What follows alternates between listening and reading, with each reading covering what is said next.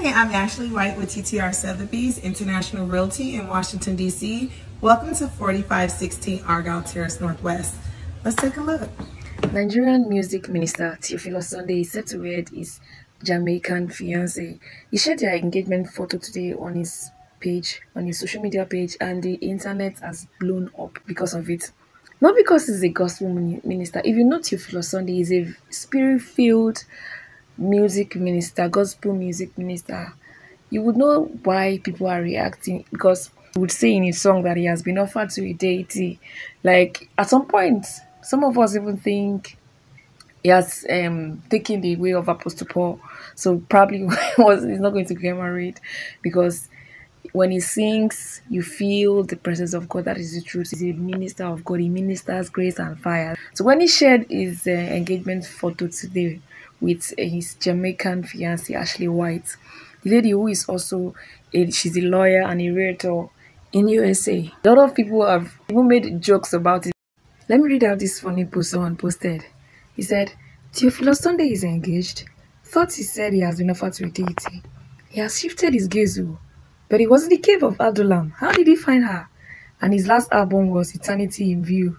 it's okay. this is so funny. We didn't see this coming at all because at some point we were listening to his songs and he'd be like, so Minister Theophilus Sunday can actually fall in love. That's a joke actually. But this is actually a surprise to every one of us and it's so beautiful i got engaged a few weeks ago because when when i went to ashlee white's social media page on instagram i noticed she posted her engagement photo on the 25th of february so while we were while we were celebrating Moses Days, we never knew to, um, Minister Theophilus Sunday was cooking something. Someone said we are not supposed to spread the fire in Nigeria alone, so let us expand it to other African countries. And this is so beautiful.